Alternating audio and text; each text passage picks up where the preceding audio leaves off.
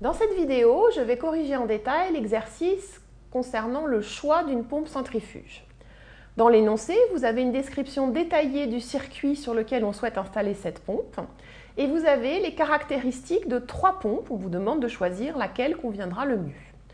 On vous demande également de calculer la puissance qui va être consommée par cette pompe et enfin de vérifier qu'il n'y a pas de risque de cavitation. Quand on a affaire à un exercice de ce type, il est toujours bon de représenter schématiquement le circuit sur lequel on veut installer la pompe. Alors, nous avons un réservoir. Ce réservoir alimente notre pompe centrifuge et la pompe centrifuge permet d'alimenter un bac de stockage situé à une altitude plus haute par rapport à la surface du liquide dans le réservoir de 17 mètres. Alors on va noter sur ce schéma les différentes caractéristiques du circuit. On a la longueur de tuyauterie au niveau de l'aspiration qui est de 20 euh, mètres.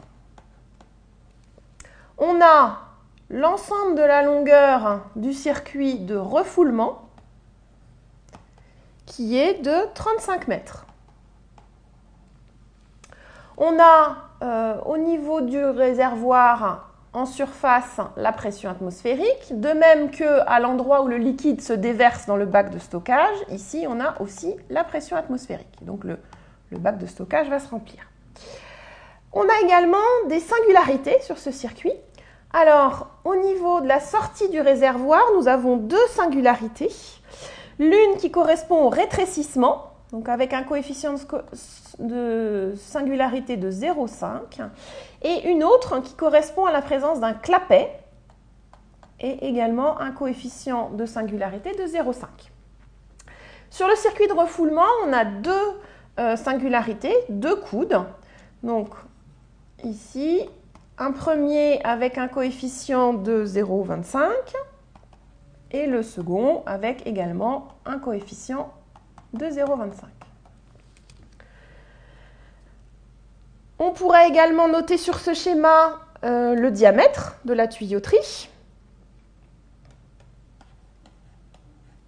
100 mm et la rugosité de ces tuyaux 0,02 mm. Ainsi, vous avez une vue synthétique de l'ensemble de votre circuit et vous avez toutes les informations utiles pour faire les calculs par la suite. Alors, comme d'habitude, lorsqu'on doit étudier ce type de circuit, nous allons écrire l'équation de Bernoulli, l'équation de Bernoulli généralisée bien sûr pour tenir compte à la fois de la présence de la pompe et des pertes de charge. Il faut donc choisir les points entre lesquels on écrit cette équation de Bernoulli. Vous avez maintenant l'habitude, on choisit toujours des points pour lesquels on a des informations. Donc on va choisir ici euh, comme point d'entrée la surface de liquide à l'intérieur du réservoir et comme point de sortie, eh bien, l'extrémité de la tuyauterie qui ensuite se déverse dans le bac de stockage. Écrivons maintenant l'équation de Bernoulli entre ces deux points. Alors, donc on va avoir la pression point 1 plus rho gz1, donc correspondant à euh, l'altitude à cet endroit, plus rho U1 carré sur 2, plus le terme delta P pompe, qui est égal, donc au même terme au point 2,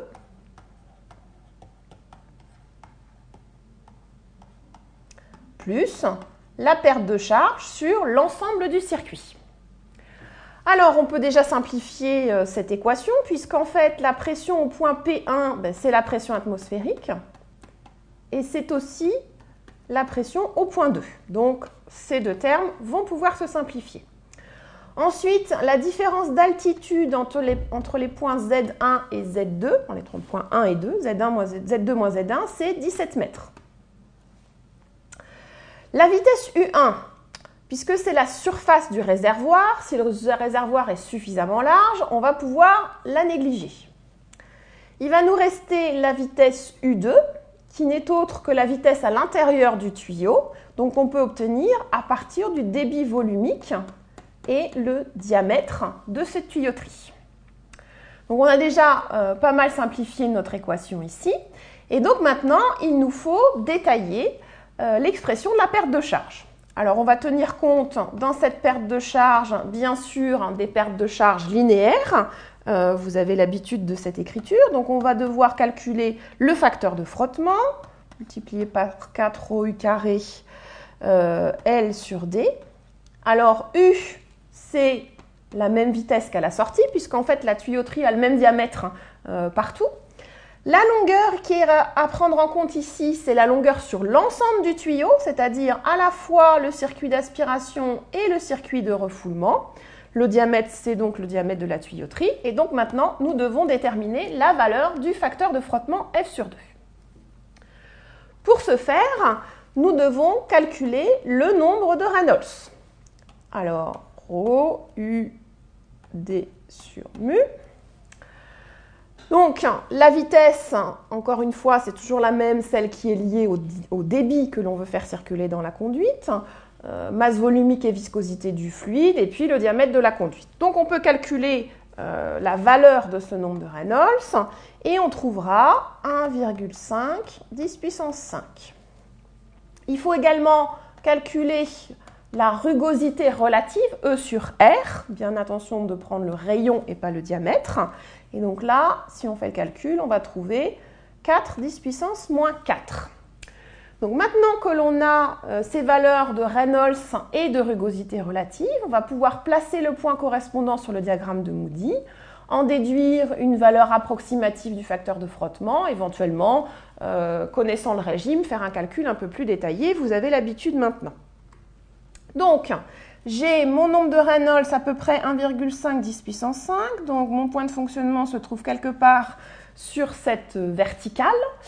Et la rugosité relative qui est à 4 10 moins 4. Donc à peu près ici, on va interpoler entre euh, les isorugosités relatives dont nous disposons. Et donc on a notre point de fonctionnement à l'intersection donc de la droite verticale correspondant à Reynolds 1,5 10 puissance 5 et puis de l'isorugosité relative 4 10 4. On peut du coup déterminer une valeur approximative du f sur 2, donc on voit que c'est un petit peu plus que 2 10 3. Euh, on peut aussi, euh, voyant où se positionne ce point sur le diagramme de Moody, euh, voir qu'il s'agit d'un régime, alors on est à la limite en fait entre le régime intermédiaire et le régime lisse. Donc éventuellement, on pourrait, avec les corrélations adéquates, faire un calcul plus précis de la valeur du facteur de frottement F sur 2. Alors un point important ici, vous voyez que pour déterminer la valeur du facteur de frottement, nous avons utilisé la valeur du débit volumique que l'on souhaite obtenir à l'intérieur de notre circuit. Donc c'est quelque chose de très important pour la suite. La valeur du facteur de frottement ici, en réalité, n'est valable que pour ce débit volumique. Maintenant que nous avons déterminé la valeur du facteur de frottement, nous allons pouvoir passer au calcul sur l'équation de Bernoulli. Alors on reprend cette équation. On avait donc notre delta P pompe qui était égal à rho G H, la dénivellation entre euh, le, point d'entrée et le point de sortie du circuit. On avait un rho U carré, donc U qu'on va déterminer à partir du débit sur 2. Donc ça, c'est le terme d'énergie cinétique. Ensuite, on a le euh, terme de perte de charge linéaire, donc avec le F sur 2 qu'on vient de calculer le 4 rho à nouveau U carré, donc toujours à partir du débit et euh, du diamètre de la conduite, facteur de L, donc ici c'est un carré, hein, facteur de L sur D, plus euh, le terme qui correspond aux pertes de charge des singularités, donc la somme sur l'ensemble des coefficients KI, donc I, on en avait 4 de 1 à 4, euh, multiplié par U carré encore. Donc 4 QV pi D2 carré. Alors, si on examine cette équation, on voit qu'on a plusieurs termes qui dépendent tous de QV au carré.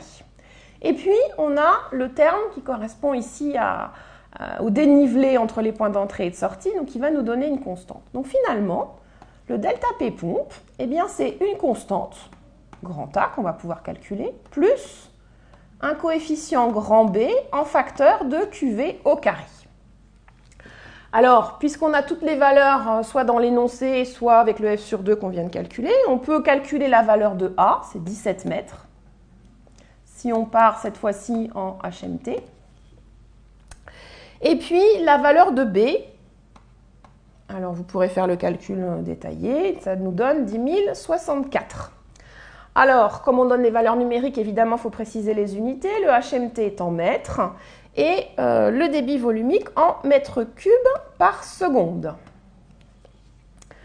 Alors maintenant qu'on dispose de cette équation, eh on va pouvoir représenter sur le diagramme qui nous est fourni avec les caractéristiques des pompes cette équation. Cette équation, c'est tout simplement la caractéristique du circuit, puisqu'elle représente les pertes de charge, les dénivelés, les énergies cinétiques, etc.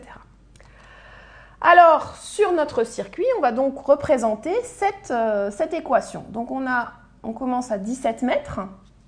Et puis, euh, alors je triche un peu parce que je sais quelle forme a cette courbe, mais en gros, elle va avoir une forme comme ça. Alors, vous remarquez que donc, la caractéristique du circuit, la courbe que j'ai dessinée en rouge ici, je ne l'ai pas dessinée en très plein partout. Pourquoi? Parce qu'en fait, l'équation qu'on a donnée, elle n'est valable que à proximité du débit volumique pour lequel on a fait les calculs, c'est-à-dire 550 pardon, mètres cubeurs. Elle n'est pas valable en, en vérité au-delà ou en deçà de cette valeur. Pourquoi? Parce que le F sur 2, souvenez-vous, il a été calculé pour cette valeur de débit. Peu importe, ce qui nous intéresse, c'est l'intersection entre la courbe caractéristique du circuit, donc que j'ai dessiné en rouge ici, en pointillé dans certaines zones, et la caractéristique de la pompe. Alors ici, évidemment, l'exercice est fait pour que ça tombe bien.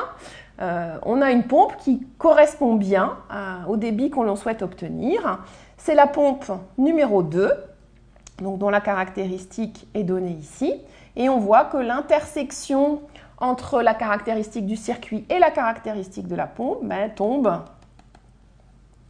avec un peu de chance et avec un peu d'aide, exactement sur le débit que l'on souhaitait faire circuler dans cette conduite, c'est-à-dire 50 mètres cubes par heure. Alors, on peut aussi lire sur ce diagramme, et on pourrait faire le calcul euh, plus précis, la HMT pour cette pompe. Pour faire circuler 50 mètres cubes heure, eh bien, c'est à peu près 19 mètres. Maintenant qu'on a la valeur de la HMT, on peut très simplement calculer la puissance hydraulique.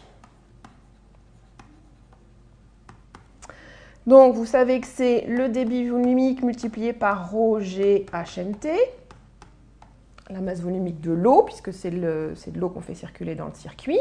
Donc on peut calculer cette puissance hydraulique. Et pour avoir la puissance absorbée par la pompe, eh bien, il suffit de diviser cette puissance hydraulique par le rendement de la pompe, de manière tout à fait classique. Et on trouve un petit peu plus de 4 kW. Donc voilà pour la puissance absorbée, la puissance électrique consommée par la pompe. Dernière chose, on voulait s'assurer qu'on n'a pas de risque de cavitation. Pour ça, vous savez bien qu'il faut calculer le NPSH. Alors, calculer le NPSH disponible, celui-là, correspond au circuit euh, sur lequel on est en train de travailler. Et il va falloir le comparer au NPSH requis. Et il faut que ce NPSH disponible soit supérieur au NPSH requis pour qu'on n'ait pas de risque de cavitation. Alors, je vais aller rapidement puisqu'on a déjà fait ce genre de calcul. Donc ici, on va avoir euh, la caractéristique au niveau du circuit d'aspiration. Euh, donc on va avoir ici, pardon, je suis déjà en hauteur, donc il faut que j'écrive simplement la hauteur, euh, la position en fait de la pompe par rapport à, la surface dans le réservoir, c'est 2 mètres, c'était indiqué dans l'énoncé. Euh, ici, moins le delta PF du circuit d'aspiration et uniquement du circuit d'aspiration, toujours divisé par Roger. Donc sur le circuit d'aspiration, on va compter uniquement les 20 mètres euh, de tuyauterie linéaire, de circuit d'aspiration, et les deux euh, singularités que l'on a sur ce circuit d'aspiration. Et puis pour avoir le NPSH disponible, il faut encore retrancher la pression de vapeur assurante divisée par Roger. Alors, si on fait le calcul, je, vous pourrez le, faire euh, en détail, on trouve un NPSH disponible d'à peu près un peu plus de 11 mètres. Ce qui est largement supérieur au NPSH requis, qui est de 4,3 mètres. Donc il n'y a pas de risque de cavitation de cette pompe sur ce circuit.